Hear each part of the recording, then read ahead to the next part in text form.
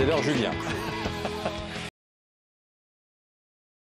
Ça va bien Ça va et toi On est rentré tranquillement, je ne voulais pas te faire courir, Adeline.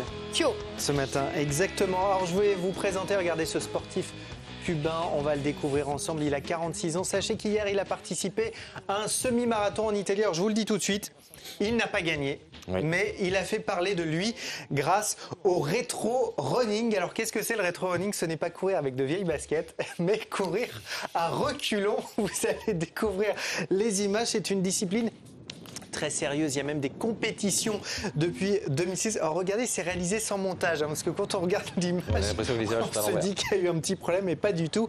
Il a même décroché plusieurs médailles lors de championnats du monde. C'est un entraînement de sportif de haut niveau. Il se lève tous les jours à 4 heures du matin, séance de sport pendant 3 heures, parce que selon lui, c'est pas du tout ridicule. C'est même le sport le plus efficace. La course à reculons offre plus de 200 avantages au corps. Elle améliore l'orientation spatiale, la vision périphérique, brûle 50% de calories en plus par rapport à la course en avant.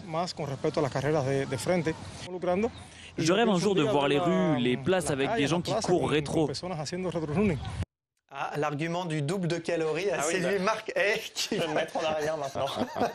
qui- Mais qui quel va essayer. l'intérêt à part ça Bah, quel intérêt la performance Oui, Ah, La performance. Alors justement, quel intérêt, Christophe Regarde, j'ai trouvé d'autres euh, exemples repérés par euh, Ouest France de gens qui ont, qui ont tenté des courses particulières. Regardez c'est celui-ci. C'est un Américain de 22 ans. C'était il y a quelques jours. Lui, il, a Il fait un court en regardant sa montre. En crocs, en crocs, les chaussures.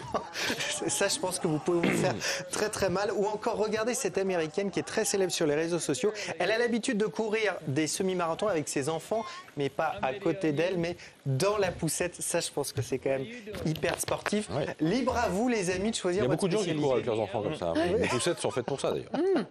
Tu veux choisir ta spécialité, toi C'est quoi avec la poussette Non, ni l'une ni l'autre. Moi, je préfère euh. Et demain, la vidéo de Marc Hay en train de courir. à. Ah, euh, chiche. Mais je serai pas là demain matin, mais je vous l'envoie. Ah, ben d'accord. Allez. Ok. Merci, Julien.